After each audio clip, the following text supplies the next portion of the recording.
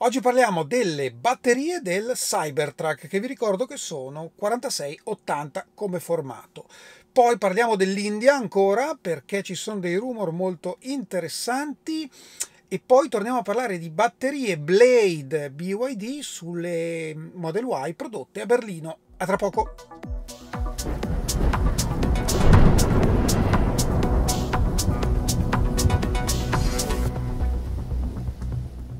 Bentornati a Lampi di Tesla. Cominciamo parlando delle batterie del Cybertruck. Beh, il Cybertruck monta la seconda versione, la seconda iterazione delle 4680, cioè le batterie prodotte in casa da Tesla che hanno la particolarità di essere un po' più grandi, un po' più eh, con un diametro maggiore e leggermente più alte rispetto a quelle per esempio montate sulla mia Model Y, ma soprattutto sono un concentrato di, nuova, di nuove tecnologie. Sono la seconda iterazione perché la prima era montata, dico era perché attualmente non sono in produzione, sulle Model Y a trazione integrale ma standard range con pacco strutturale prodotte per un limitato periodo di tempo in Texas. Perché ne parliamo? Allora, partiamo dallo spunto che è la velocità di ricarica, quindi la potenza di ricarica. Con i primi Cybertruck in giro sono usciti i primi video dove ovviamente si sono fatti vari test di ricarica. Considerate che la batteria del Cybertruck è di 123 kWh, quindi è bella grossa. Considerate che la mia per esempio è circa 80 kWh, una Model S è circa lordi 100 kWh, quindi il Cybertruck è decisamente più grande. Nonostante il Cybertruck abbia, diciamo così, una capacità di recuperare chilometri o miglia.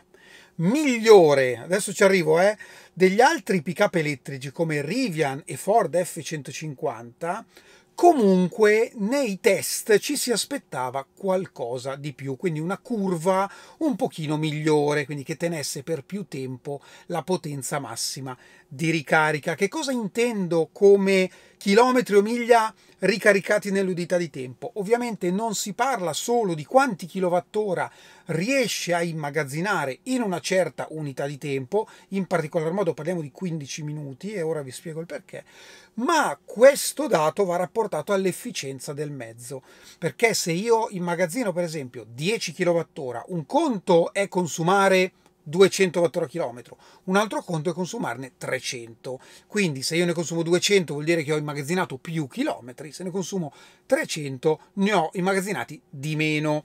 Ma veniamo a noi, perché ve ne parlo? Perché attualmente il Cybertruck sul sito è pubblicizzato con 100 fino a 128 miglia immesse in 15 minuti.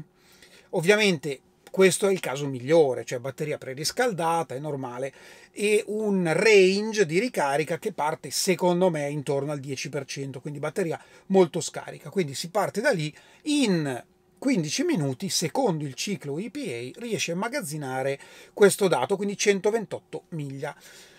Ripeto, in generale la curva di ricarica del Cybertruck è stata un po' tra virgolette deludente, ma, ma cosa interessante, non è la prima volta che succede in casa Tesla, e ora vi dico quando è successo.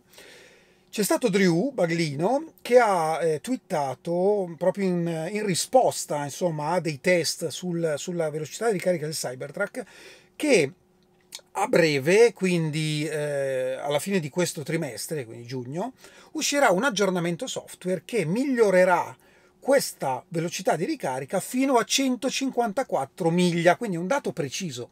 Il che vuol dire migliorare con un aggiornamento software il 20% della velocità di ricarica del Cybertruck, 20%. Perché Tesla agisce in questo modo e non è la prima volta? Perché soprattutto quando ha batterie nuove diciamo che continua la fase di test anche dopo aver venduto le auto e quando eh, può va a migliorare le prestazioni. È successo in maniera abbastanza plateale quando per la prima volta su Model 3 ha introdotto le batterie LFP che all'inizio effettivamente, soprattutto al freddo, avevano una potenza di ricarica eh, abbastanza deludente, ma poi con un aggiornamento software Tesla ha sistemato le cose. È successo altre volte in passato, per esempio con i motori. È uscita con un motore nuovo e dopo qualche mese c'è stato un incremento di potenza del 5% del motore. Cioè Tesla ecco, spesso agisce in questo modo. C'è un altro aspetto fondamentale, ora ve lo accenno perché non ho ancora approfondito l'argomento. Sandy Murrow sta smontando il Cybertruck. È arrivato alla batteria e ha scoperto che praticamente metà pianale è, è vuoto. Cioè la batteria non occupa tutto il pianale, come può essere per esempio per la mia auto, ma occupa poco più di metà pianale. Cosa vuol dire questo?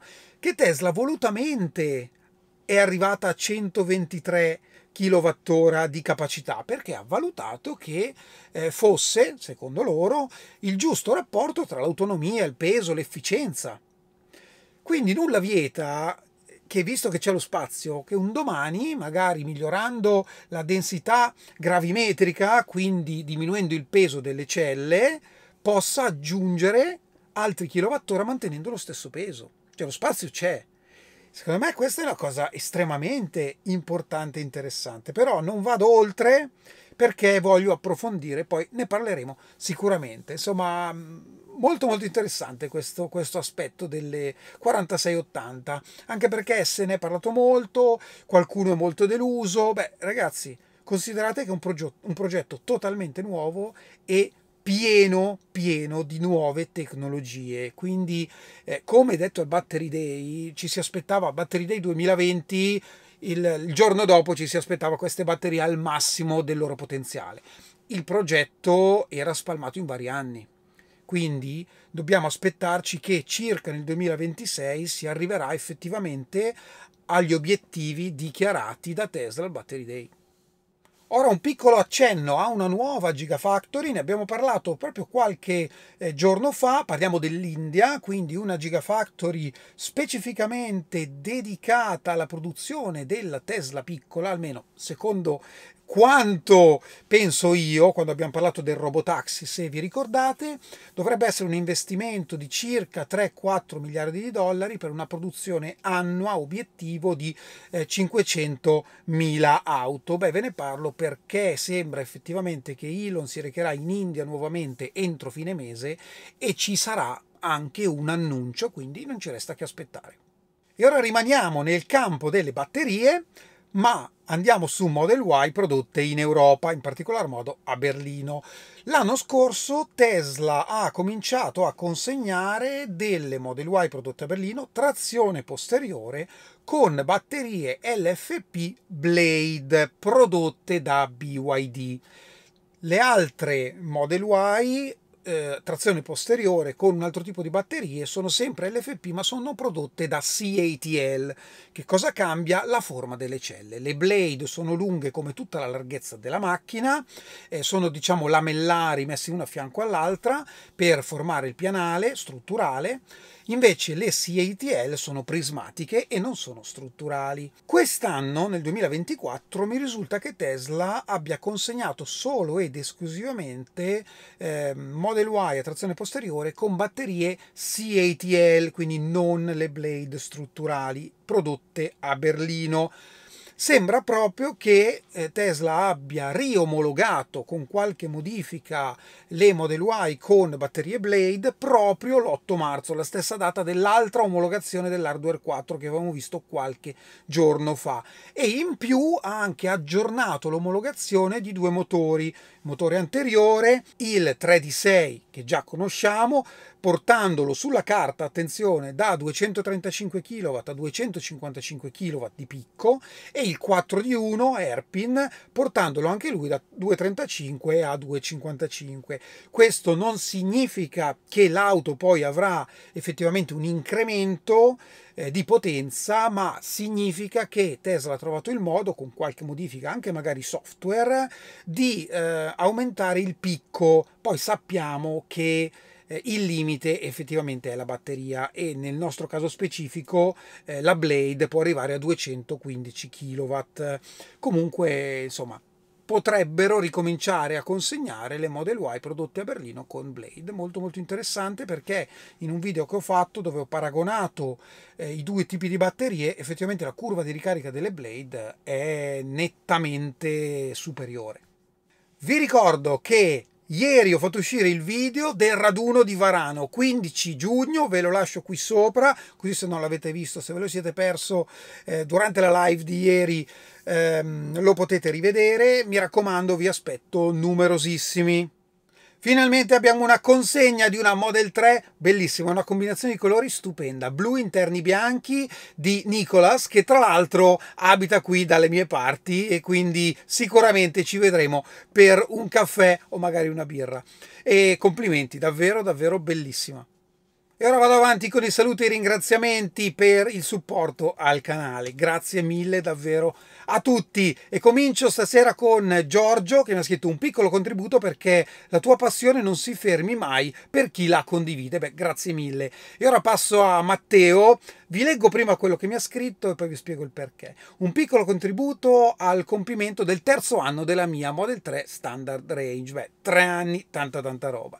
Ho iniziato a seguirti appena l'ho comprata e grazie a te ho vissuto dei momenti di aggregazione unici. Non mi dilungo, complimenti per il lavoro che fai. Mi ritengo fortunato ad aver condiviso con te l'esperienza di Livigno, top, e aspetto con ansia l'evento di Varano. Già il primo anno è stato strepitoso. Beh, devo dire che Matteo è sempre stato presente nella community, ha sempre partecipato agli eventi per venire a Varano, per venire a Livigno, scusate, a febbraio è partito da Roma.